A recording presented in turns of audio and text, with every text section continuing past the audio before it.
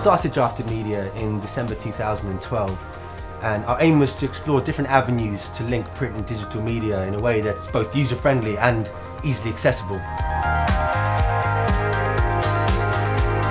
What we've created here is a print publication which is very similar to being on a website.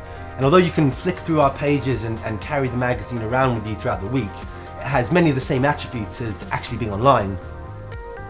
Our media partner Blippar are an amazing company, constantly pushing boundaries. Through their free augmented reality app, you can buy any of the products featured and drafted directly from the printed page, or watch an exclusive celebrity video interview, or behind the scenes footage from one of our fashion shoots, or book yourself into a hotel that you've just read about.